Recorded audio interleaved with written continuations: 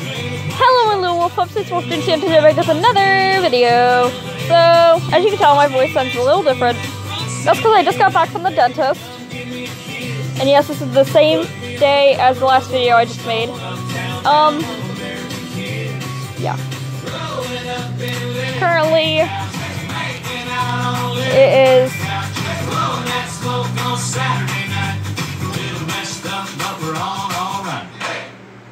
if focus 3:29 p.m. and I went there at like one something or something. I don't remember. But basically, it's on my right side of my mouth, and they did two, I believe. I don't know, but you know. So that's all I really want to say. I don't really know what to talk about, so um, bye, I guess. I don't feel like doing my outro.